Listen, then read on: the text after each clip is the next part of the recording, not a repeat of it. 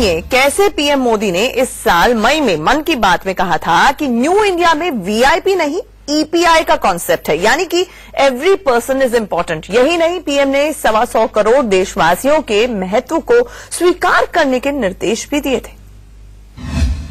New India का हमारा concept यही है कि देश में वीआईपी की जगह पर ईपीआई का महत्व बढ़े।